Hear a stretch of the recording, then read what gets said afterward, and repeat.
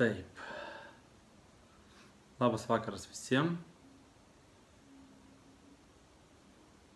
Kaip jūsų diena praėjo? Pas mane tokia pakankamai. Gal čia keičiasi oras, gal ruošiuosi kažkam pakankamai tokia, kažkaip jaučiuosi pavargęs, kas keisti turbūt. E, man. Jo, kestutis kaip visada, pliusas, super kestutis, ačiū. Taigi net neklausiu, ar gerai matot, viskas ok. Šiandien tokia vėlgi. Tikiuosi nusibodau. Įdomi tema, specialybė pedag pedagogas turbūt, arba tai yra mokytojas. Ir taip toliau. Manau, kad vis paklausesnė profesija tampa. Nėra blogo oro, taip, nėra blogo oro, tikrai ne dėl oro, tiesiog matyt vis tik tai daug iššūkių visokių laukia ir matyt ruošiesi, lipi kitą kažkokią tai laiptuką lygį, e, jėgų reikės. Taigi, nuo ko norėčiau pradėti šiandien? Tikriausia nuo tokių pamastymų įvada į laidą, prieš kalbėti apie šį, šią specialybę, kaip mokytojas, pedagogas, ten savykdus treneris, koks skirtumas, pasakysiu, ką daryti. Bet pradžioje norėčiau pasakyti, ką reiškia, kai nežinai, esi laimingas. Ką tai reiškia? Problema visų žmonių, mūsų visų mano taip pat, kad mes dažniausiai viską matuojam pagal save. Tai yra problema. Tai yra didelė problema, kurie iššaukia labai daug konfliktų. Pavyzdžiui, nu jeigu man tai patinka, ir nu, aš manau, ir tai gali būti netiesa, kad tai akivaizdu yra gėris, aš kažkodėl tai turiu, manau, kad ir kitas turėtų to norėti, jam turėtų patikti, tai, tai yra ta problema. Suprantat, problema yra, kad, nu, ir toliau gaunasi taip, kad, reiškia, kaip ten sako, elgtis su kitais taip, kaip norėtum, kad elgtųsi su tavimi. Tai yra visiškas, tiesiog, visiškas žalojantis įsitikinimas arba patarlė. Labai trumpai paaiškinsiu. Mm, Įimu pavyzdį, tarkim, save ir savo šeimos, tarkim, man patinka, kai mane kritikuoja. Tai yra, nu, aišku, argumentuotai, konstruktyviai. Tai logiškai mąstant, aš turėčiau taip elgtis su visais, pavyzdžiui, su savo žmona arba su savo mama. Bet jos tos nenori, jos, suprantat, todėl tas elgtis su kitais taip, kaip tu norėtum, kad su tavimi, netinka. Tame nėra meilės, tai yra, tai aš nežinau, kas taip sugalvojo. Vėlgi, kokiu tikslu, čia kitas klausimas, bet niekada negalvokite apie kitus kaip apie save. Jeigu jums tai akivaizdu, nebūtinai, kad kitam tai akivaizdu. Jeigu jums tai nepatinka, nebūtinai, kad kitam nepatinka. Be abejo, aš nekalbu dabar taip jau labai aštri kampus, net tarkim, kažkas alkoholikas ar dar kažkoks ten blogas žmogus. Aš kalbu dabar apie verslą. Mes galvojame, kad jeigu mes norime siekti tikslų, lipti, aukti, vystytis, realizuoti savo potencialą, mūsų atrodo, o tai ką, kiti to nenori? Draugai, nenori. Kiti to nenori. Ir šitą klausimas visada savęs reikia paklausti. Ar aš to noriu? Gal man tiesiog patinka procesas, aš noriu atitikti kažkokius tai naujo, naujausius standartus, dabargi skaitau knygas, medituoju, lavinu, noriu sukurti verslą, nu kiek tu to nori kiek laiko tu jau nori vis, vis ieškai idėjos, pinigų, partnerių, vis tau niekas netinka, jau daugybę metų nori mesti savo darbą, bla bla bla bla, ne? Tai va čia ir yra toks dalykas. Ir aš net, net ne, nesu, ne, nesijaučiu, kad kažką išidinė arba esu grubus. Tiesiog yra tai faktas. Faktas. Ir tai reikia suprasti pirmiausia apie save. Todėl sakau, darbas su savimi, jis, nu tiesiog jis ne tai, kad jis turi būti kaip kaip norma, ne, kad vis dirbu, vis valausi, vis suvokinėjau, vis ten skaitau, vis ten mokinuosi penktą kalbą noriu išmokti. Ne, jis tiesiog neišvengiamai nuolatinis, neišvengiamai. Tai yra tai paprasčiausiai reikia pripažinti savo, kas tu esi. Ir būtent ta tema, būtent, kad žmogus gali, kai pamato kažką nuostabaus, labai motivuotis. Tai yra labai užsinorėti. Ir tai veda į priekį. Bet yra žmonių, kurie demotivuojasi. Yra įvairių priežasčių, kodėl taip atsitinka. Yra, kad sakys, kitas nusivylė ir sako, o Dieve, kaip jie gerai gyvena, arba ten kažką tokio fainos, nuostabaus pamato ir sako, o iš to niekada neturėsiu. Tiesiog, nu, per daug primityvų būtų, kad nepasitikė savimi ar dar kažkas, per daug primityvų. Bet tiesiog aš konstatuoju faktą, kad tai būna. Ir dabar prieinam prie tokio dalyko. Iš tikrųjų, aš to niekada nepripažinau. O matyt laikas šiandien atėjo tą pripažinti. Kadangi man visada domino naujienos, aš visą laiką skaitydavau knygus nuo vaikystės, nu nežinau, kodėl taip suformuota. Gal tėvas, gal šeimoje, gal kažkas, nežinau. Tai nesilioviau daryti.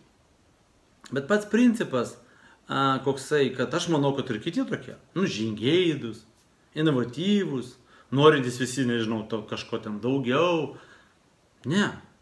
Ar į blogį? Ne. Ar aš geras? Ne faktas. Nu, taigi su manim turbūt nelengva kitiems žmonėms, nes aš vis kažko blogai, taigi ir taip gerai davai dar, dar, dar. Tai irgi man trukdo ir varžė mane. Ne? Aš visą laiką kažką įsigalvoju, vis kažko blogai, visi nori kažkur lypti, žmonės nori gyventi ramiai, paprastai, nu kiek galima. Tai yra va, tas nesuderinamumas kuris trukdo mums sukurti komandą, sukurti tinkamą šeimą, nes mes nesuprantam. Dar, daug, dar svarbiausia, ir mes patys prisitaikom, patys apsimetam, patys savęs nepažįstam, sutinkam tokius pačius žmonės, kurie irgi tokie patys, bijo su pripažinti, kad daug turi norų, kiti bijo pripažinti savo, kad jie nieko nenori. Iš tikrųjų, jie nori turėti darbą, ten smagu, grįžo namo, vakarienė, pažiūrėjo filmą, jam to užtenka. Suprantat? Mesgi sakom, ne, tu turi vystytis, turi būti kažkoks. Ne. Ir kai toks žmogus, kuriam iš tikrųjų užtenka ir jis nenori nieko naujo žinoti, nes kai jis nežino, jis laimingesnis. Jeigu žmogus aiškiai jam adekvačiai parodysi, kad jis gali turėti daugiau, kad tai ne kažkokį televizorių pažiūrėjo, va žmonės gyvena. Ah, suprantat? Ir jam parodai, ką aš labai puikiai moku, parodyti, kaip pasiekti tikslą, jisai nusivilia. Jam suprastėja nuotaika. Jam pasidaro prašiau. Ir aš būdavau šokė, galvoju, kodėl? Kiti, aišku, tai permeta ant manęs, ten pyksta, ar ką nors dar, kokiu nors tiesiog kaltina, aišku, kitus, nu, labai patogi pozicija. Jie tai faini, kiti kalti. Nors nelabai suprantu, kame ten tas. aš gynėjau pa žmogų namo, bet tarkime, kaip pavyzdys, turiu, kad aš darau dariau klaidą. Ir tos klaidos pasižymė, aš pasakysiu kur. Ir Dostojevskis, ir daugybė tokių žmonių rašo, sako, kad jeigu žmogus pradėjo jūsų nekesti, reiškia per daug gero padaryta tam žmogui. Tai yra padaryta to, ko jis nenorėjo, ko jam nereikia. Duota. Nu, jeigu jums, pavyzdžiui, alkoholių kupilt, nežinau, vandenį į gerklę, nu, jūs susimušit. Taip pat e, tas, kas negeria alkoholio, pilt analų į gerklę, jo, irgi taip pat bus konfliktas. Kodėl? Nes jam to nereikia. Kažkam aišku sakys, kad nu, čia tiek akivaizdu, bet taip pat tampa akivaizdus dalykai, kai tu nu, pradedi suprasti žmonę. Ir čia, nu, čia aš labai rimtus dalykus kalbu, nes kai žmogus, kuriam užtenka taip, kaip yra, jisai iš tikrųjų laimingas nuo to, kaip yra va dabar, jis auga, tarkim, 3 km greičių į metus, sutinka žmogų, knygą, komandą, aplinką, filmą pažiūri, ten seminarą, YouTube, tiesiog taip, kur žmonės auga 100 km greičiu į metus. Nu, tarkim, arba 100 km atkarpą praeina per metus. Jis pažiūri, nu, jis negali to nenorėti, tai yra nu, natūralu, žmogus jis tiek auga. Nori, nenorit, jūs vis tiek evoliuciją stumė priekį. Jūs tikrai, prating, jūs galite užsidaryti kur norit, bet jūs pratingesni negu prieš 10 metų. Tai faktas daugiau suprantat, jo, išmintingesni, daugiau mokat, įgūdžiai, taip toliau, nu daugybė dalykų. Galima, aišku, labai stipriai degraduoti, ne, bet vis tiek jūs turit naujausią a, techniką, pas jūs naujesnis automobilis, pas jūs naujesnis telefonas, technologijos, jūs mokat visą tai, nu čia neišvengiama, evoliucija tokia. Suprantat? Nereikia matuoti vien kažkokiu tai, va, prieš dešimt metų uždirbau ten, nežinau, tūkstantį ir dabar, bet pas jūs, nu, pažiūrėkite, kaip jūs gyvenat, pas jūs jau ten koks kondicionierius, indaplovės, kalbėjimo mašina, nu, prieš dešimt metų buvo, bet tarkim, suprantat, ne, idėja mano. Tikrai pagaunat kampą, ne, tai pasakyti galima. Ir va tas žmogus, kuris auga, praeina, ne, nu, tokių kažkokių tam tikrų greičių, kaip norit, matokit, penkius laiptukus per metus. Pamato, kad galima praeiti 20 nu, kaip iš esmės taip, nu, nu 9 procentų turbūt žmonių susimotivuoja, sako, o, nu ašgi toks pat. Dar galima surasti, kad, nu, pratingesnis už kažką, daugelis iš jūsų pratingesni už mane, daugelį aspektų, daugelį. Nu, taip, taip, bet taigi tai nerodiklis, jūs kažką tikrai geriau už mane mokot, šimta procentų, kiekvienas iš jūsų. Taip, pamatuoja, sako, tai aš galiu. Ir staiga jis pradeda daryti tai, kas nėra jam skirta, tai, ko jam nereikia daryti, nes pas jį greitis 3 km. O pas tą 100. Ir kas gaunasi? Nu, ten aišku, nusivylimai, kaltinimai, tas anas. Bet yra ir kita pusė.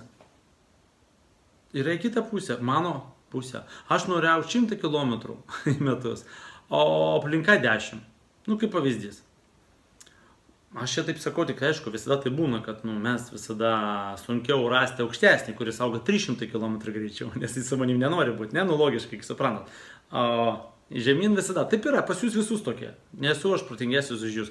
Tiesiog matavimas, ne, be to palyginimo tokio, be paneikinimo, išaukštinimo, ne, išdidumo, tokių. O paprastai, kad palyginti, kur esi, kaip tu jautiesi, kokie tavo rodikliai tavo kūno, jo, rodikliai ten hemoglobinas, net testosteronas, ten kraujas, krešėjimas, taip toliau, taip toliau, ok, spaudimas, kraujo, taip toliau, o, ok, norma. Tai va čia mes matuojame. Taip pat ir mes matuojame viską. Ir čia gaunasi atvirkščiai gali būti. Nori šimtą kilometrų aukti, tu pasakoji, ne. Neskubėk. Gyvenimo tikmė tokia. Ja, nu ir ten visi tie tokie. Ir tu galvoji, Dieve, mano, kaip man depresija. Prai? Jie abi pusės. Kažkas iš jūsų irgi jums stabdo aplinko, stabdo. Tarkim, jūs norite aukti 50 km greičių ar atstumų, o pas jūs aplinka 20. Jūs bandot aukti kaip 100, nepavyksta, sunku, o kaip 20 nenorit. Ir vat mes visi tokio būsinai. Tokio vat. Na, tie kažkur aukšti, jie net nešnika su mumis, ne, nu nebent mes ten mokinamės pas juos, mokam pinigus už konsultacijas, ne, esam naudingi, dirbam jiem, O tie mažesni tempia žemyn, sakykime, ne? Taip visur yra. Ne blogi, ne tie, ne tie. Jūs suprantat, pats principas koks. Ką daryti, reiškia, nereikia mes tų ir tu ten privartauti, padėk man. Čia tiesiog suprasti, kur esi. Nes visur yra, ne, juoda, balta, geris, blogis, visur netoks. Injan. Ir va čia mes visą laiką tokioje pozicijoje. Ką daryti? Kaip būti? Suprasti. Suprasti. Mylėti žmonės. Mylėti žmonės suprasti jų poreikius, jų galimybės, jų potencialą, jų jėgą, išmonę. Supranti, kad jeigu kažkoks tai žmogus, kuris nelaiko blogai pavokti, jeigu niekas nepagaus, nu, taip mano, pavėluoti, nepadaryti, e, ten nu, apgauti, ne, nu, tu, tu supranti, kad jiem galima duoti darbą, bet tam tikrą. Nu, neduoti rakto nuo seifo, kur guli pinigai, ne? Yra kitų žmonės, pareikingi, atsakingi, niekada, niekada ten nepavoks, nepaims svetimo, yra tokių žmonių.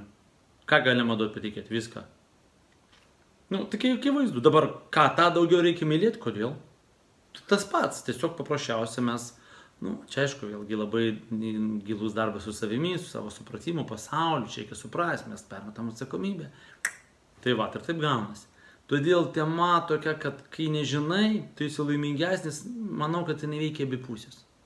Daugelis žmonių nenori žinoti. Dėl dviejų priežasčių. Esminių. Abi žalojančios labai. Viena, nu galim sakyti, mažiau žalojanti. Tai yra, jam, jeigu parodys, kad jis tikrai gali nueiti ten, kur, nu iš tikrųjų, mes visi svajojame geriau gyventi. Nu kas nenori geresnio gyvenimo savo šeimai? Geresnės sveikatos. Lengvesnio, nu, daugiau patinkančio darbo. Nu, visi tai nori. Nu, nėra žmonių, kurie to nenori. Visi nori gyventi geriau. Logiška. Nu kaip, kas nori gyventi blogiau? Pakelkite ranką. Tai nerealu. Tai va tas nenorėjimas žinoti, pažinti, kažkas sako, Dievo nėra, kažkas sako, pinigai blogis, kažkas sako, žmonės negalima pasitikėti, ten verslo Lietuvoje, ar ten Kinijoje, ar Japonijoje, ar Rusijoje nepadarysi ir taip toliau, taip toliau. Valdžia bloga, jo, tai yra, jie, blog, jie nenori žinoti, pažinti pasaulį.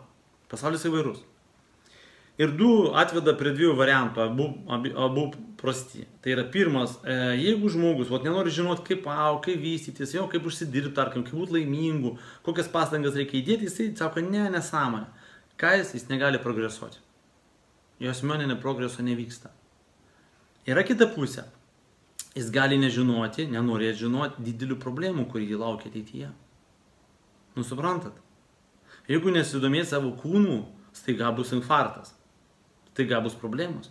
Nesidomės savo verslų, rinkos, jo, tendencijom, e, kaip vyksta ta, pažiūrėjau, verslo evoliucija, taigi vystosi, kas yra technologijos, jeigu neadaptuotis prie besikeičiančių aplinkybių, bus problemų. Tai vad visiems duodu patarimą. Neieškokite, kaip greit pasiekti tikslą. Daugiau ieškokite, kaip viskas vyksta. Kaip vyksta ta evoliucija gyvenime. Tam, kad bent jau išvengti tų nuosmukių, tų problemų. O to po to, kai jūs išmoksite jau taip, tada jūs galėsite iškoti, kaip dar greičiau aukti. Mesgi sakom, ne, čia aš kaip ir viską žinau, man čia viskas aišku. Kas aišku? Pas daktarą nueini ir pasakoju, daktarė, čia man viskas, sakau, valkit, aš daktaras, aš diagnozuosiu, kas bus. Pamatuojam, o, tai pas jūs ten. Kepenys nefunkcionuoja, ten 20 procentų, inkstai, reikia ten valyti, ne? Širdies permušimus. O, bet žmogus suka, ne, nepasakokit man tai, ne, aš nenoriu to girdėti. Va štai kaip kas yra. Ir laimingesnis žmogus, bet po to bus blogai. Ir gali būti taip blogai, kad net negali sugrįžti atgal, negali atstatyti. Todėl reikia būti alkanu, reikia žiūrėti, ieškoti. Taip, ieškoti sliekų asfalto, taip, ieškoti problemų. Nes kitaip bus blogai. Tai yra faktas. Bet vėlgi mes kalbame šiandien apie verslą, apie specialybės, todėl aš kalbu tam kontekste. Yra daug, daug dalykų tokių, kad nu, tikriausiai nereikia būti tokiu aršiu ir taip ieškotų problemų, kad nedaug dievė kažkas neatsitiktų. Yra. Bet kas liečia specialybę, kas liečia darbą, kas liečia pinigus, kas liečia verslą, čia nežaidimas. Čia nėra jums patinka, nepatinka, tai yra net netaisyklės. Tai yra tam tikri procesai, kurie jeigu nevaldomi, jie nevaldomi. Jeigu nekontroliuojami, nekontroliuojami. Jokios nėra sėkmės, nesėkmės, dievulis, karma ar kažkas nieko nepadės. Tai yra faktas. Žmonės taip pat, gi už visų procesų stovi žmonės. Mokėjimas komunikuoti, supratimas psichologijos, mokėjimas jos testuoti, atrinkti, motivuoti, nežinau, demotivuoti, atpažinti jos, indikatorius sustatyti, tai yra svarbiausia, kas jūs veda į priekį. Todėl galit pasirinkti Šito nenoriu žinoti, šito, šito, šito, aš tai renkuosi viską žinoti. Aš renkuosi viską, ką pajėgus, nu be abejo, neinu ieškoti, kaip surinkti kosminį laivą. Tiesiog, nu, faktas, jo, mano gyvenimo kelyje to nėra. Nu, aš to ir neieškau, bet aš atveras viskam. Viskam. Fiziologija, biologija, mytyba, psichologija, verslas, santykiai.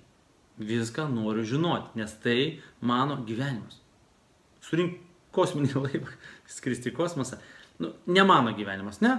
Ir aš nesidomiu. Čia klausimas visiems irgi taip pat, ar nešvaistot laiko domėdamėsi to, kas neliečia jūsų. Na, nu, nekalbu apie tą televizorių, serialus, ten politiką, kas iš tikrųjų atrodo mūsų ir liečia. Bet mes nekaip negalim to valdyti. Todėl peržiūrėkite savo dienos eigą, ką jūs darote ir nustoti daryti tai, kas nekaip nepagerina jūsų gyvenimo neveda jūsų kažkur, kur jūs norit nueiti. Ir pradėkite galų gale daryti tai, kas iš tikrųjų. Jeigu jūs nepatenkite santykiais, nu pradėkite skaityti tas knygas apie santykius, kaipgi ten, kas ten moteris, kas tas vyras, kas su tais vaikais negerai. Nu pradėkite kažką daryti. Nustokit skaityti šiaip horoskopus ir tikėti sėkmės. Šiandien gera diena. O, aliluja, viskas, galima viskas. O šiandien bloga diena. Nieko nedarysiu, mėgosiu, gersiu alų, brėdas kažkoks. Pranat, jūsų šį dieną yra pasiekmė, rezultatas vakarykštės. Nu, gal savaitės, mėnesių, nesvarbu. Nieko, jokio horoskopo nereikia. Galite išanalizuoti tai, ką jūs dabar turit, suprantat, žinot. Jūs patys padarėt. Patys. Tai reiškia, ką reikia šiandien daryti? Bet ką, kad jūsų rytdiena būtų tokia, kokiu jūs norit. Logika. Nu, gal ir horoskopai padeda tam, nežinau, bet reikia aišku suvokti. gal ir padeda, bet reikia žinot kam. Todėl, jeigu blogai su pinigais, nu, tai skirkit laiką mokymam, skirkit laiką, investuokite į tai. Sveikatą, nu, tai pradėkit sportuoti. Ar norit, nežinau, užsidirbti gerą karmą ir pilvas nukris, ar ten kas, perdikulitas praeis. Nu, suprantat, reikia realistais būti. Taigi, toks įvadas. Todėl, kas nenori žinoti, nežinokit. Būsit laimingesni, tikrai. Bet ar bus ateityje gerai, ne faktas. Nematęs aš laimingo žmogaus, o aš labai analizuoju žmonės, labai studijuoju žmonės, studijuoju tos, kurie studijuoja žmonės, jau analizuoja ir, ir taip toliau. Nematęs žmogaus, kuris primityviai gyvena, jam nieko nereikia, jis toks paprastas ir jo visas gyvenimas buvo. Ne. Ne. Dabar vat, Henry Fordų skaitau biografiją, pradėjau ir, na, nu, aišku, visiškai netitinka tas gražias istorijas ir citatas, ką rašo apie, jo, apie jį ten ir taip toliau, kad jisai, jisai nuo vaikystės dirbo su technika, visada tai įsupo ir taip toliau, ne taip, kad ten pasisekė, jis nemokė brėžinių skaityti, nemokėjo to, nu, čia kažkokios tai pasakos pasakojama, ten knygų rašoma apie tai, va, ten mokinusi, tą baigė, to, nu, tiesiog, va, visas istorijos, matyti, mes tą perkam, draugai, mes tą perkam, mes norim. Jeigu mums sakys, kad jis sunkiai dirbo, jis tenarė, jis vat, viską, tai, tai, ai, nu tai čia nepasisčia. Mes norim tų gražių istorijų, pasako, kai mums nieko nedarant, galima sulaukti sėkmės. Ir mes laukiam, tikimės, vylimės. Ir taip gyvenimas praėjo. Ir gyvenimas praėjo. O mes už viską atsakingi. Už visiškai viską, ką mes dabar turime, gero. Tai savame aišku, kad mes, tai aš, aišku, va šito gero, tai aš. O va ten nepasisekė. Absurdas. Gerai. Taigi, nu, čia dabar tokia specialybė, pedagogas, mokytojas, e, kas tik norite. Nu, čia turbūt, turbūt, aš turbūt vienas iš geria, e, vienas, turbūt nežinau, iš labai mažai žmonių Lietuvoje, kas žino, kaip galima prasimušti tą sritimį. Nes tai, ką aš padariau per tris metus, tai Nu, nežinau, tikrai nėra niekam pavykę ir nežinau, ar kada kam nors pavyks pakartoti. Kaip galima, nebaigus nieko, jokių psichologinių kursų, jokių institutų, universitetų, neturėti nei vieno sertifikato, diplomų, kurį galėčiau įsdidžiai pakabinti ant na, sienos savo kabinete, galima padaryti įtaką Lietuvai, padaryti įtaką, kad dabar praktiškai nevyksta gyvų seminarų. Ir aš tai sakiau kai kurių, kad nebus to. Aš sakau, aš nuspėjau ateitį.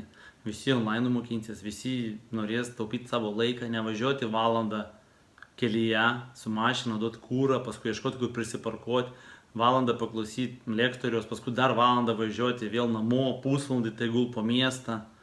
E, norės tą laiką skirti savo šeimai, vaikams, galbūt sportui, savo skaitimui, nešvaistyti, nes, nes man smagiau gyvai.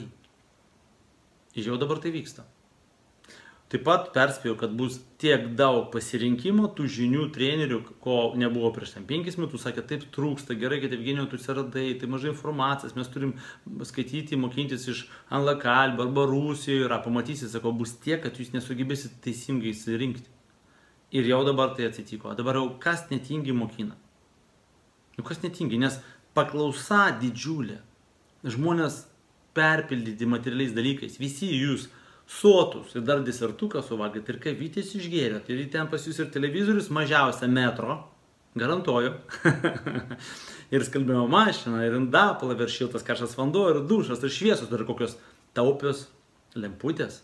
Ir automobilis su pavarų dėžė, su kondicionieriumi, su muzika, ir MP3 playeris, ir taip toliau, taip toliau, taip toliau. Laimės kaip nėra, taip nėra. Kas dabar su manimi negerai? Su viskas su jumis gerai. Nes yra dvi pusės. Materiali apčiopiamą. Ir tą nematomą, dvasinę. Ir va štai to mums visiems trūko. Man visada turbūt trūks tų žinių suvokimo, bet trūksta, va, kasgi atsakymų surasti. Nu ir dabar kas netingi bando. Bando. Bet nematau nei vieno algoritmų, kaip mokintis, nematau metodologijų, nematau technikų, nematau, kas apsijims jūs nuvesti į rezultatą. Tai yra apsijims atsakomybė. Mokinti moka, nu, išmogi nesunku, istoriją papasakoji, papasakoju gražią istoriją pradžioje, suintriguoji, pabaiga tos istorijos pabaigoje. Paskaitos, diagramos, slaidai, kostiumas, tai iškalba, ratarystė, nu viskas puiku. Ar įsinešat, ką galima pritaikyti gyvenime? Ne, nežiūrėkit, nepergyvenkit. E, ieškokit, tyrinėkit. Duodu maksimum 5 metus, tai liausias. Atsisijuos visi, pasidarys reitingavimas specialistų, balsuos ne kažkas, o jūs. Jūs rinksitės. Ir aš tikiuosi, aš sulauksiu savo gyvenime, nesiuošiu mirti dar šimtą metų, bet sulauksiu, kai mokyklose, universitetuose mokiniai statys pedagogam ir man norėčiau, kad man statytų pažymius. Aš nenoriu jums statyti pažymių. Geri, jūs pas mane geri, šaunuoliai, nenoriu, niekada nenorėjau ir nedarysiu, net, net, ne, ne, neversiu jūs taip jaustis. O aš man, kad statytumėt, aš noriu. Nu, jūs balsuojate savo buvimu čia, visais laikais, peržiūrom, mokymusi mano kursuose. Už tai ačiū visiems. Tai yra geriausias balsavimas. Tai yra geriausias įrodymas, kad rezultatas yra. Bet vis tik tai mokyklose vaikai negali to pasirinkti. Jie būtų smagu, kad jie rinktų patys tą mokytoją, kuris iš tikrųjų neša naudą. Taip, tai nebus lengva. Nes, nu, vaikai reikia kartą sukurti tokį, nes vaikai irgi manipuliuoja, jeigu matote, kas vyksta, veidmanystė, stilėk, nepasakyk, apsimes, sugudrauk ir jie gali iškeršti iš visko. Ne taip lengva, bet tiesiog koncepcija, jūs suprantate, kad koncepcija yra gera. Dabar reikia tik surasti, kaip ją padaryti. Aš padaręs. Jūs balsuojat savo pinigais, savo laiku. Man. Akivaizdu. Viskas, reiškia, yra nauda. Taip, kokia ta nauda neaišku, koncertas susirinka daugiau žmonių. arba į kokį šou, arba cirką daugiau. Ar ten daugiau naudos? Taip, emoci emocinės naudos, tos mm, energetinės daugiau. Pas mane protinės. Nu, mažesnis pliūpsnis. Plius dar sudėtinga. Suprantat? Todėl, todėl čia yra kitokie kriterijai. Kestutis sako, galim šiandien statyti pažymius. Kestutis gerai, žvyštą, norą, viskas ok. Su, gal sugalvosim, tiesiog, matot, nu, taip sukurta padaryti, kad jūs ir statot, jūs esate čia, tai yra geriausia, nes dar vieną pasakysiu dalyką. Aš tai kalbėjau, bet įdėmiai dabar supraskit mane. Mūsų išmokino blogai gyventi ir nieko nepasiekti. Pasakysiu kada? Mokykloje. Mokykloje, ten universitete. Pasakysiu kaip Jūs jaučiat, kad jūs nedadarot viską šimta procentų, o jaučiat. Nu, pasakyk, aš irgi jaučiu, pas mane yra tie tarakonai, nu nedarai, nors pas mane iš tikrųjų ta gerąją paranoja, kad aš negaliu, kai kaba neuždarytas darbas ar ten kažkas dar, nu tiesiog aš negaliu pamiršti, aš neužsirašau niekada. Tu, kad aš negaliu pas mane, nu taip, taip šaudyti ar taip, nežinau. Aš negaliu. Ir aš kitiem priiminu dešimt kartų per dieną, nervuoju juos, bet sakau, nes aš žinau, kad galima, ten, nu dar nespėjau, dar nepadariau, o mane tiesiog, jie pamiršta, aš nepamirštu nes tai dar nepadaryta. Bet čia, nu, taip, jūs galite irgi save suformuoti tokiu padaryti. Bet noriu pasakyti, kodėl. Mes visą laiką nedadarom, mes visą laiką padarom 8 procentų, ten 7, kodėl? Nes mus taip išmokino. Per 12 metų mokyklą mums padarė vieną baisiausių dalykų. Pasakysiu kokį. Darbas, namų darbai, projektas, dirbinys, ar kaip čia pasakyti, ne, kažkoks tai ten, rankdarbis, jis turi būti arba padarytas, arba nepadarytas. Nėra tarpinio varianto. Ką pas mus padarė? Nu, jeigu 5, 6 balai, 7, tai yra praeina. Tai yra tinka. Bet netinka dalis. Draugai, supraskite, negali moteris pagimdyti vieną koją vaiko. Negali. Arba pagimdo, arba nepagimdo. Nėra. Gamtoje neegzistuoja pusiau. Nėra niekur pusiau. Nėra šešių balų. Arba dešimt, arba nulis nu, balai skaičiuoja pažymėjais, nėra pusiau. Ir mes jau tokie pusiau gyvenam, pusiau laimingi, pusiau tokie mylim, bet gal nelabai, bet nieko tokio priprasiu. Ir malam tašai, aš ant savęs erzinusi, nes aš irgi randu savyje tokių pusiau. Nors pas mane sakau, yra geroji ta paranoja, aš laikau tikrai tokių gerų įgūdžių, kad man jeigu nepadaryta, kaip turi būti viskas. Jokėsi mano daug kas draugų, oi, nu čia, prie... o man va, turi būti viskas taip, kaip... nes taigi taip gali būti. Suprantat? Jeigu, jeigu pas tave namie, tai turbūt švaru, tvarkinga, gali podukai būti išplauti. Ar, ai, tiem paguli tris dienas. Nu, ne, ne, ne, nerealu. Taigi gali būti tvarka. Čia ir mane aišku sakydavo aplinka, tu paranoini, tu labai ten pedantiškas. Kas tas pedantiškas? Nu, žinot, aš irgi suvokinėjau, kas yra pedantizmas. Nu, pedantas. Tai yra, nėra tokio kaip pedantą. Neegzistuoja. Nu, čia gal taip, ne į temą, bet vis tik tai svarbu. Taip dėliojasi pokalbis, todėl galiu sauliais kalbėti. Pedantas nėra tokio žmogaus. Nes yra įvairių žmonių. Vienam e, aš matęs žmonių, kur kiekvieną plokštumą namie užstatyta kažko. Nu, pas kažką kačiukai, anguliukai, ten gėlytės kažką. Nu, pavyzdžiui, jam tai fainai. Kitas pasi, prantat. Ir jeigu tas, kuris visur užstatytas, čia paims tapkę, numės čia paltą, ten podelį ir tas ateis rinks, jam nepatiks, sakys, kad šitoks pedantas. Tai yra lygmenį žmonių. Čia skirtumai. Tai dabar kas yra pedantas? Tam, kuris nėra, atiek, tvarkingas, sakykim. Tai čia tiesiog, kai tada, kai tu esi toks, pas tą mašiną visada murzina, neįsirbliuota, neišplauta. Tai tu sakai ant to, oi, tai čia pff, geležės gabalą čia įsimylėjęs, nes tavo suvokimu jisai kažkoks išprotėjęs. Nors tam, aš sakau, aš kitaip negaliu, aš jaučiuosi murzis. Suprantat, koks dalykas? Nu, aš kaip iš vyriškas pozicijos mašiną, aš varai, ne, kaip pavyzdys ten pas kažką koinės murzinos, kažkas maudosi tik kartą į savaitę. Suprantat, va čia yra tokie dalykai. Ir tas, kur eina smirda prakėtų, sako, tu, oi, prisikvėpinės čia. Nesuprantat? Nėra tokio suvokimo, kaip ir žmogus laimingas, nelaimingas, turtingas, neturtingas. Jūs turit matuoti save, kaip jūs jaučiatės. O kad aukti, ar ten degraduoti, jūs galite matuoti kitus. Taigi, todėl, grįžtam prie pažymio, suprantat, kokią problemą padarė. Ir mums dabar 5 balai, tikėt, nu toks pusiau.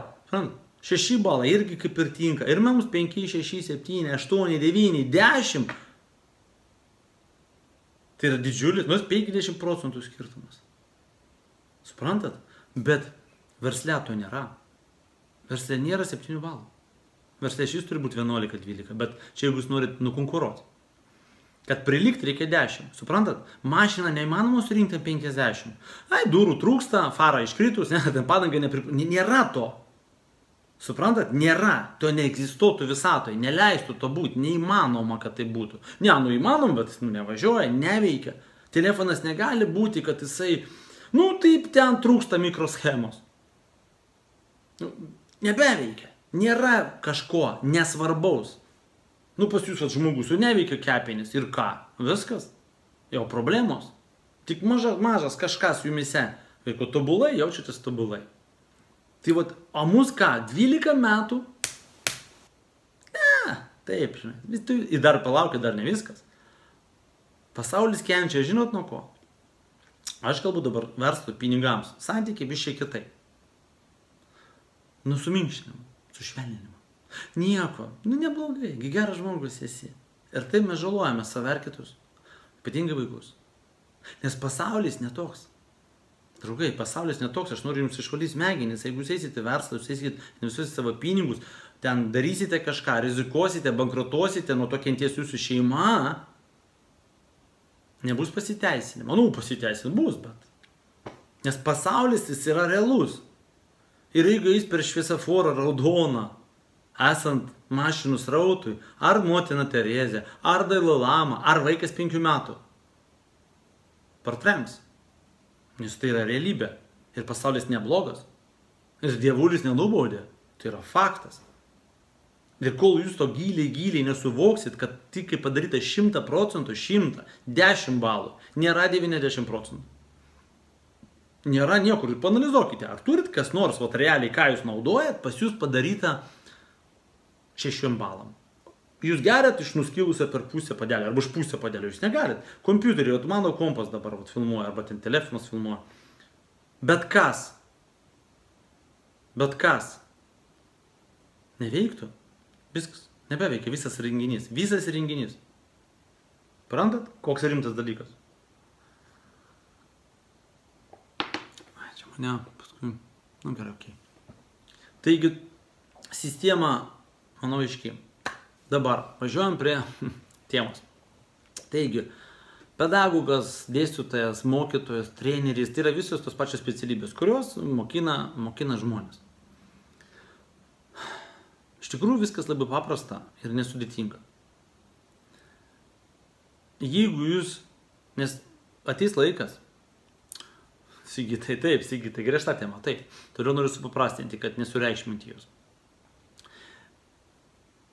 jau dabar artėjam prie to, bet dar, dar, dar yra labai daug kas tiesiog mokina, tiesiog mokina. Bet aš jums noriu pasakyti, kas bus ir kam jūs ruoštumėtės. Neišgyvens e, ta prasme darbo vietoje arba neišgyvens, tai yra turės klientų, e, mokytojas, pedagogas, nesvarbu, net ir darbuotojas, tas, kuris neduos konkretaus rezultato. Duodu pavyzdį. E, ar jūs eisit pas chirurgą operuotis, jeigu jis negarantuoja jums, kad išoperuos? Nu, tarkim, atliks tą darbą, nu, niekas nežino, kaip ten jo, pavyzdžiui, bet atliks.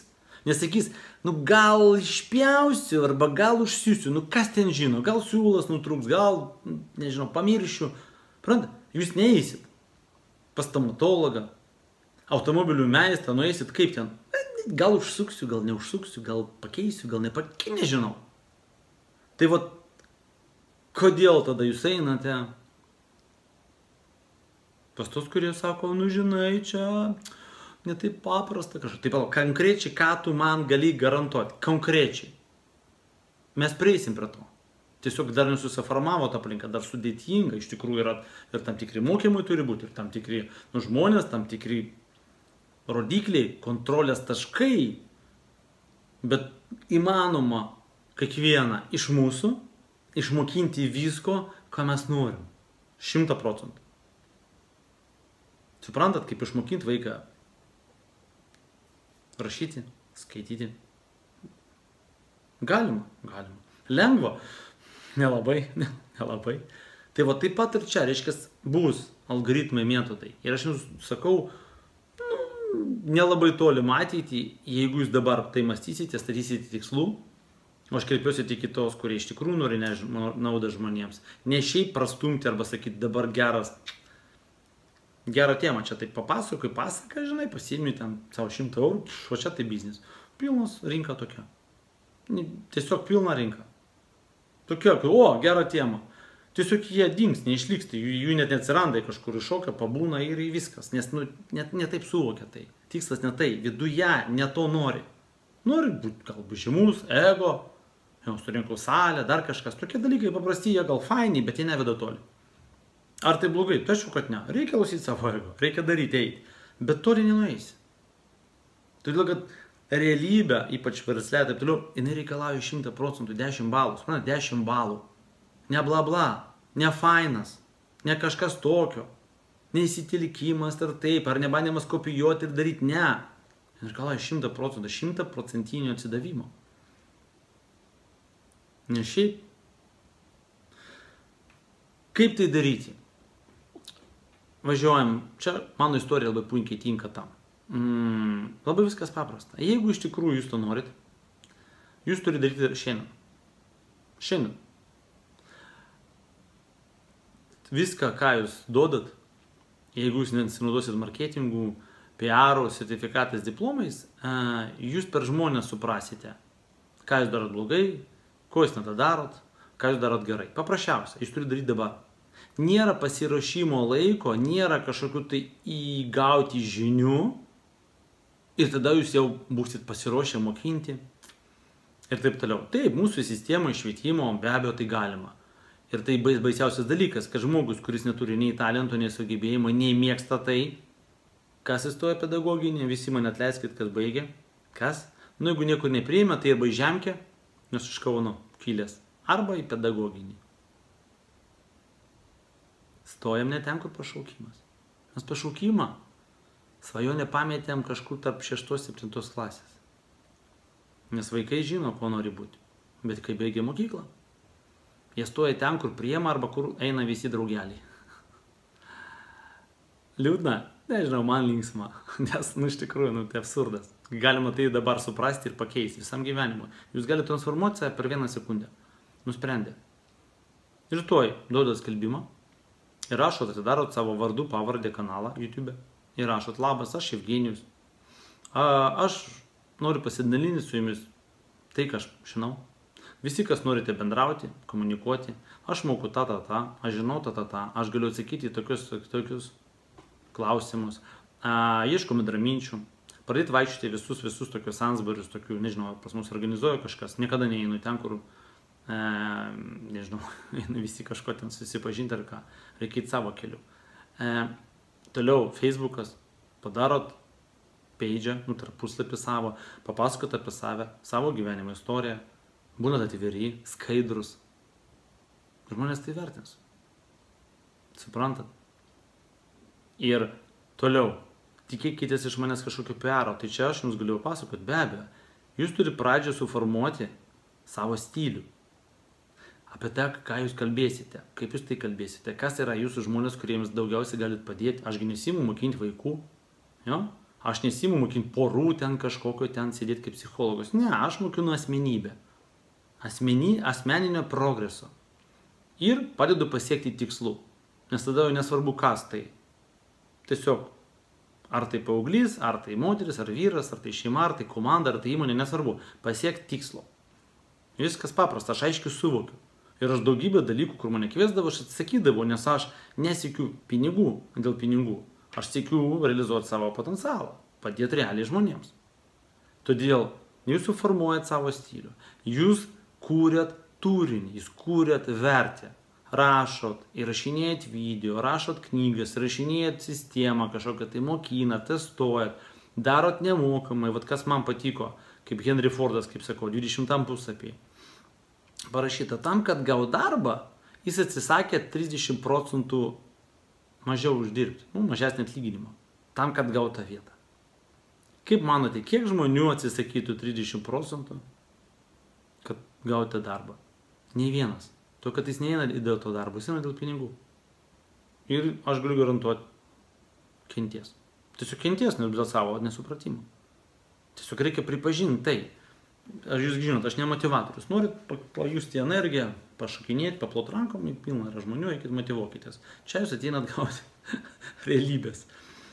Todėl pildot duodat, kas yra jūsų širdyje, naudojate tam įvairius metodus, tą, ką norit pranešti pasaulį. Aš toliau duodu testus įvairius. Tarkim, mes atėjome čia, kad padaryti šį pasaulį gražesniu, geresniu. Dabar kaip tai daroma? Kodėl žmonėms noriu, noriu pastatyti vandens gamyklą? Kodėl jūs užsinorėjo? Spurgų, ten nežinau, kioską, kebabinę, restoraną, autoservizą. Pasakysiu. Jeigu tai eina per čia, o ne per čia, per čia tai, taip, mašinų daug, reikia serijos atidaryti, bus geri pinigai. Nu, nieko nebus. Nugi pastoja bankrutuoja visi. Nes va čia nėra. O jeigu tave erzina, ant kiek blogas aptarnavimas automobilių, ant kiek nėra paslaugos tos vat, kokybiškos, geros, kur pasirūpina, kur myli klientą. Va štai, ką matėjai tu. Ir kreipiuosi į kiekvieną iš jūsų, štai, kam jūs atėjote. Pakeisti tai pasaulį. Kodėl aš tos mokymus kuriu, kodėl aš darau? Nes aš matau, kad žmonėm, nu tiesiog, jūs žaloja visą tai, ką daro, nėra koncepto, nėra nuo A iki Z. Kodėl aš sukūriu iš pradžių asmeninę savygudą, jo? Nu, iš pradžių tai iš vis valymas savęs nuo tų negatyvių emocijų, jo, energijų, kas mus kamuoja. Nes jeigu mes galim turėti, ką nori, tu jums duos lagaminą pinigų, eik investuok, bijau, nepasitikiu, nežinau, nereikia. Nu, daugumą žmonių taip elgesi su pasiūlymais, galimybėm. Jo? Paskui supratau, kad reikia sukurti žmogui koncepciją, paaiškinti, kaipgi čia tas gyvenimas vyksta, kodėl įvyksta tokie dalykai. Po to matau, kad versle visi 85 procentai bankrutuoja. Gal kaip sukūriau verslas ABC. Kitais metais kursiu kitą kursą. Kiekvienais metais kursą kažkokią tai naują sukursiu. Galingą, pradirbtą, kokių dviejų, trijų, nežinau, ten šešių mėnesių, ko reikės. Kad atėjęs tu a, viską suvoktume apie tai. Nu, Jūsgi nenorit vaikščioti, jeigu išmokti norit vairuoti automobilį, jūs nenorit ten einu, mokinuosi sukinėti vairą, ten spaudinėti pedalus, kitam mieste važiuoju, nežinau, atbolinių važinėti, nu taigi absurdas. Bet taip gaunasi. Tu pažiūri tos, kas mokina kažkokie nedekvatų žmonės. Nu aš tiesiog. Ir aš taip pat rinkau po lašelį tos informacijos, nu kiek galima. Prandat, ir kas blogiausia, aš pasakysiu, mes negalim žinoti visko. Aš sakiau prieš tai, aš nemokinu visko. Aš aiškiai sakau, ko aš mokinau, už tai, ko man trūko pa žmonės. Jie ką daro? Jeigu iš dvasingumo, tai turtas blogai, žmonės gopšus, čia niekšai, tamsa pola. Aš gal nu, kažkaip, nu, okei, pas tą pasimė kažkaip to. Eini verslumo, tai visi tie dvasingi lohai, durneliai ten, nu, vegetarai. Nu. Okay. Eini paskui kažkur ten, tarkim, tos pačius vegetarus, žalia valgius, eini tie visi, kas valgo miestas volučiai. Aš gal, nu, Kodėl? Ir aš tai palašelį rinkau. Užsiknisau negyvai. Vaikai tikiuosi miega. Rimtai, užsiknisau negyvai, draugai. Nes, nu, absurdas kažkoks. Kažkur va to, va to tai tikėjimas. Tai priim pasaulis įvairūs, visur mylėk, tas rūko, tas geria, tas narkoma. Nu ką dabar tai daryti, ar ką jis ne žmogus. Ir va tokie va visi fragmentai, ir tu ateini, tu duoda tą siaurą tokį aspektą, tu visko ne, nekenti, pradedi kažką, nu kaip fanatikas pasidarai. Ir supratau, kad nieko neišeis mane sukurtų tokį konceptą. Jūs suraskit savo temą, tas, kas jūs profas, kur jūs talentas, ką jūs veža daryti. Ką jūs galite daryti, daryti, daryti, nepavarsto. Daro, daro, daro ir nepavarsto. O nu kaip čia tavo? O taip yra. Kažkas bėga maratoną. 48 km. Bėga. Aš, nu, aš numirčiau tas penktų, ne, pavyzdžiui, bet jis bėga, nes jam gaunasi, nu, prakaituoja, sunku, treniruojasi, bet bėga. Tai tuo pat ir jūs turite surasti. Ir jeigu jūs galite spręsti problemų žmonių, jūs kaifuojate nuo to, kaip jūs padėjote, jūs, jūs, ten, jūs nebijote kritikos, komentaro, jo, jūs nesate tas, kur dalina šviesa, tamsa. jeigu kažkas nesutinka su manim, tai jis ten durnas, o va sutinkat, jūs protingi. Skirstimas toks, ne, kuris nu, net neneša jokios naudos žmogui. Tada tai jūsų tema. Tik tada marketingas, tik tada internetas, tik tada klientų paieška, kai yra turinys. Pas mus kaip pradeda? Nuo klientų paieško. Tai iškišim, ką nori. Ko jums ten, kas populiaru? Santykiai. Nu, davai, ką nors ten. nu, nu, nebus nieko. Nes dabar žmonės ne idiotai. Ne idiotai dabar jie. Nes dabar gali gauti, pasiekti bet kokią informaciją. Taip, aišku, jeigu tu fragmentuotas, tu pamatysi blogą, kitas pamatys gerą, bet iš esmės galima visą tai rasti, tu gali palyginti, tu gali pamatuoti, tu gali tai patestuoti ir suprasti. Todėl Parandat? Ir ten jau viskas, paprasta. Kuo daugiau jūs duosite pasaulį, negailėdami savęs, tuo daugiau grįž.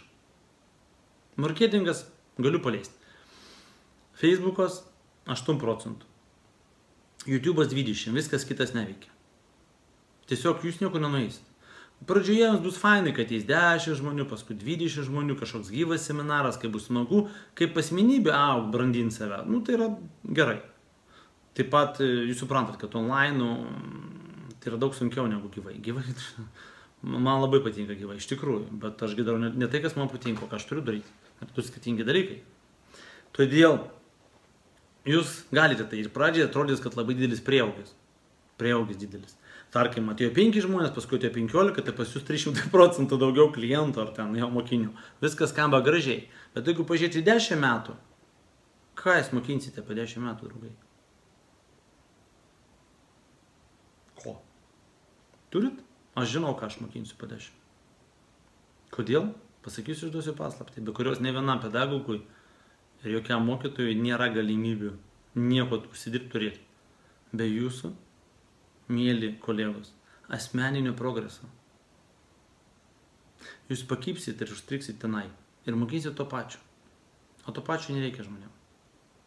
Jie progresuoja, evoliucionuoja net toliau. Ir jeigu jūs naudojatės ir gyvenate kaip jums pasakė kažkas. Padarom testą, jūsgi žinote, jo, 10 minučių turiu dar, paskui pas mane pamoka vėl online. Padarau testą. Kaip manote, ar teisinga citata, nežinau, čia patarlė, mm, blogas tas, tik iš karto sakau, kas mano mokiniai ir žino šitas, prašau, nerašykite. Nu tiesiog, nu, aš noriu pažiūrėti, vat vis tiek jūsų čia buvo virš šimto prisijungusi, nu tiesiog noriu pažiūrėti. Kas sutinka, taip, vėlgi, būkite drąsus. Žinau, kad taip kiti šiek tiek, o čia yra irgi drąsa. Nebijoti pasirodyti kvailų. Kas kvailas? Aš irgi kvailas. Nuolatos rodo. Aš įjungiu šis durnių dažnai. Nu, durnių. Tai yra, nu, mėgstu, nu, nesuprasti nieko, neapsimetu. Tiesiog įjungiu ir sakau, taip, viskam, viskom tikiu, tikiu šimta procentų. Gerai, testas. Blogas tas mokinys, kuris neperauga, neaplinkia savo mokytojo. Ar sutinkat su tokiu patarlė, čia tėzė? Ar blogas tas mokinys, kuris neperauga savo mokytojo? Jeigu taip, prašau taip. Nu, kad logiškai mokinys auga, mokytojas mokina ir jis perauga. Jeigu taip, parašykite tai, prašau, tiesiog aktyvumą jūsų. Jeigu nesutinkat, ne. Paaiškiai nereikia kodėl, aš paskui atsakysiu savo nuomonę tik be abejo. Nepretenduoju į absoliučią tiesą. Gerai, Karolis va, parašė, ačiū. Taip, kad sutinka. Evaldis sako ne, gerai pažiūrim. Mhm, Vilma ne. Tikiuosi, jūs savo atsakėte, jo, kas taip, kodėl, nu kodėl jūs taip mano, sakykite savo. Kas ne, pasakykite savo, kodėl ne, kodėl mokinys neturi peraukti mokytojo tarkim, nu, kaip pavyzdys. Bet tiesiog aš noriu pažiūrėti, vat, man labai įdomu ir plus jūs biškiai paaktyvinti. Man ašgi myliu jūs, žinot, ašgi to nedaryčiau, jeigu nemylėčiau žmonių. Taigi čia nelogiška, kad aš kiek duodu, ašgi tiek neuždirbu, kiek aš atiduodu. Nu taip galima pasakyti. To turinio. Gerai, ok. Ok. Nu, Gediminas, vat, jau arčiau tiesos. Tai visiškai neteisinga citata, visiškai neteisinga. Jeigu mokinys aplenkė mokytoją, reiškia, mokytojas nustoja aukti. Norit mokintis pas tokį mokytoją? Pasakysiu rimtą dalyką. Jeigu tas žmogus jūsų ugdė, pas jūs yra energetinis ryšys, sąryšys pagal sąryšio dėsnį, aš tai mokinu iš mokykloje. Ir jūs esate susijęs su juo. Kaip jis jūs tempia į viršų, taip jis gali jums ir neleisti aukti. Suprantat? Tai ne iš to, kad blogumo. Tiesiog, nu, tu taip sakai, neskubėk, neliek, pabūk, ne? Tu kaip ir gero linki, kaip ir mūsų mylimi tėveliai, ar ten mačiutės dedukai, nesišok, ramiai gyvenat, vaikeliai, kam čia, ne? Nemigruokit, nesikraustykit, neinvestuokit ramiai. Jiegi iš tokio, suprantat? Nu, atvinai negirdėjai. Reikės pažiūrėti kartojimą. Galima atsukti, jeigu žiūri, taigi biškiai atsukti. Suprantat, draugai? Ir va tokiom citatom, kurios žaloja mus, mes jas priimam kaip tiesą. Ir pas mus susiformuoja pasąmonė toksai. O, koks, o tarkim, Jevkinijus, mm, ne, nu žinai, aš niekada nebūsiu kaip jisai. Kas per nesąmonę? Siekimybė aplenk turi būti. Geresnių, bet nu nenugalėti, nekariauti. Tiesiog. Todėl Tim Plus motivuoja mane. Mane motivuoja. Suprantat? Ir viens kitą tempiam. Jeigu aš žagu nuolatos, aš padarau naujų kursų. Aš vedu apie tai. Aš emigruoju į Monaką, aš emigruoju ten, aš skraidau važiuoju, sakau, nerealiai. Reiškia, tai, ką jis daro, veikia, tai, kas kalba tiesa. Prantat? Ir tu judi. Faktas. Aš galiu pasakyti, viskas gana. ir aš važiuoju gyventi ant kalno, žiūrėti į medžius ir galvoti apie savo gyvenimą. Galimas, bet aš turiu pripažinti tai. Pasakyti. Nes tai sąžininga. Nes tai teisinga. Todėl, draugai, suprantat, kiek yra tūkstančiai tokių tezių, citatų, įsitikinimų, kurie... Oh, peržiūrėkit savo visus mokytojus. Gal jūs kažką jau peraugot. Gal gana. Gal reikia eiti toliau. Gal reikia pasakyti ačiū. Buvo smagu. Buvo fainai. Gal reikia pasakyti ačiū kažkokiai aplinkai, kaimynam, draugam, gal net labai artimiem žmonėm giminėms sakyt, buvo smagu, fainai, susitiksim per kalėdas. Bet dabar gana, aš noriu naujos aplinkos. Suprantat? Čia yra principinis dalykas. Jeigu vėlgi, žiūrėkit temą, jūs norite tai žinoti. Būt šiek tiek nelaimingais. šiek tiek tokiem nema, kaip pasako žmonės, kurie, nu šiek tiek jiem, jiem, jiem, jiem gana kiek jie turi, jie žiūri į mane ir jie sako, nu tu kažkaip tu toks, bet man yra tas smagu. Draugai, man yra tas smagu, suprantat, man smagu siekti, man smagu tyrinėti, man smagu krysti, man smagu atsikelt, man smagu, ten kažkas pakritikuoja, kažkas spaudžia piktukus, kažkas palai, man smagu viskas. Aš priimu visą gyvenimą, jis yra, jis yra, jis yra įvairus. Jis nėra vien geras. Tikrai ne. Tikrai ne. Bet jis nėra vien blogas. Suprantat, ir aš priimu visą tai. Kaip yra, kaip bebūtų.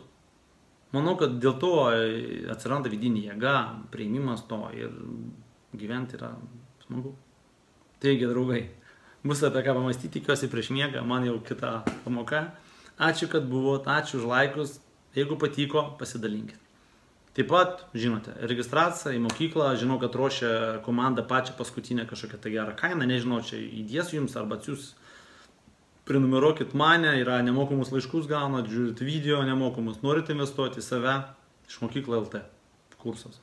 Viskas. Ačiū. Buvo smagu, ačiū už laikus. Ir gero vakaro ir labą naktį. Iki. thank you